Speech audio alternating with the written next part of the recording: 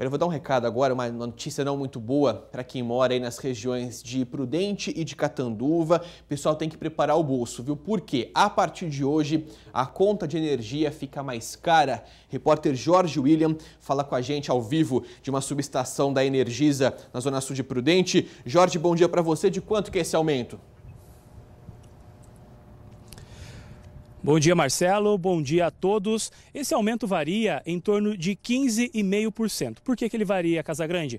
Porque residências vão pagar 14,96% nesse reajuste. Comércios e zona rural, o aumento vai ser de 15,22%. E indústrias vão pagar aí um pouquinho mais nessa conta, 16,74%.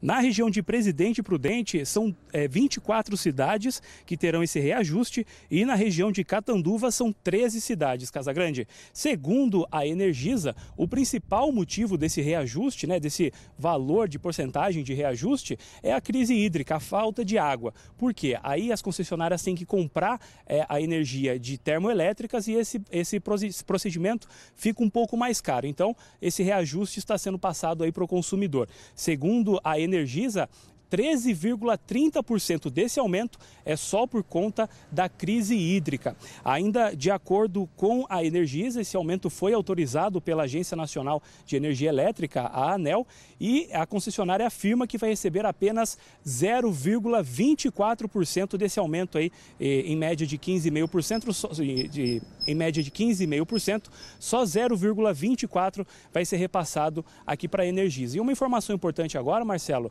segundo a concessionária, 42% de tudo que é pago pelos consumidores vai para o governo. Esses 42% são de impostos. Ou seja, a cada 100 reais aí que o consumidor paga de energia elétrica, 42%, 42 reais é imposto para o governo.